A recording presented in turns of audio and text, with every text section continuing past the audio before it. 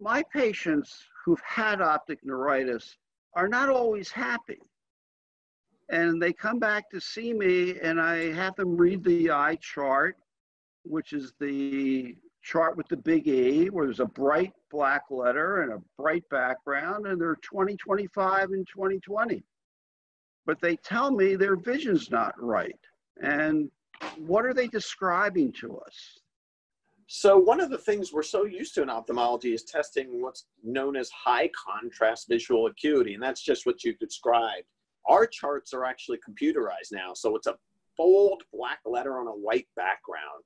And um, you know, when I was in training, we had projectors. You couldn't even alter that. If the projector bulb was a little bit dim, the contrast mm-hmm. was a little bit worse. But short of that, we were testing high contrast visual acuity, which is often very good in patients who recover from optic neuritis. The problem is if you ask them, hey, if you cover one of the other eye, do you notice a difference? And they say, of course I do. Things are washed out with the affected eye. Colors are not the same contrast is not the same. Things look more dim with that eye. And this is one of the things that can be overlooked just by assessing high contrast visual acuity. Yeah. Uh, this is uh, excellent work uh, done by Laura Balcer primarily uh, now at uh, New York University Langone Medical Center. And Laura has taught us a lot about this. And what's very interesting too is that this low contrast acuity uh, anatomically is localized to the retinal ganglion cells.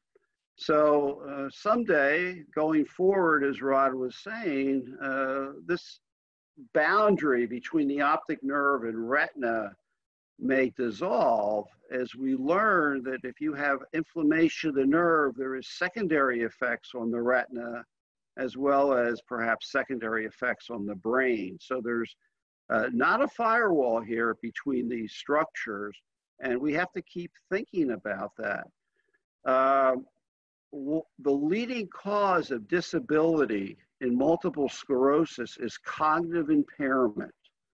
And I think that in the future, all of us, neurologists, ophthalmologists, neuro-ophthalmologists, need to start measuring cognitive improvement, cognitive impairment rather, on optic neuritis patients earlier in their course. And if they have problems, then we need to follow that because it's such a stealth disease. You can have progression without relapses. And we have to make this a multidimensional approach uh, with the help of MS specialists, with the help of uh, specialists in neuropsychological testing for cognitive impairment.